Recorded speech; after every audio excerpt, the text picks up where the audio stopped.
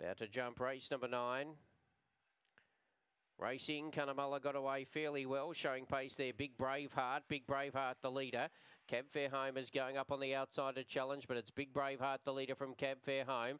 Going up around the outside was Summer Days, then came Magic Eyeliner from Henny Darrison and Cunnamulla at the tail. Down the back straight and Big Braveheart the pilot by length and a half to Cab Fairhome. Going up on the inside was Summer Days, then Magic Eyeliner coming up to the corner. Big Braveheart is just in front. Down the outside was Summer Days. Big Braveheart clinging on, flying late was Magic Eyeliner. I think Magic Eyeliner has beaten Big Braveheart and Summer Days and Cab Fairhome from uh, Henny Darrison and Cunnamulla. And it's 30 and 76.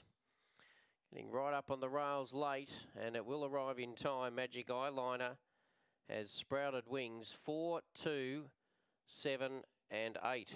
4, 2, 7, 8. Now the splits are 525, 1835, 3073 and 1238, 4, 2, 7 and 8. Magic Eyeliner by Bernardo. Bernardo from Gamma Bale for Greg Johnson with a flying run up on the rails late to be Too big Braveheart for Sue Dalton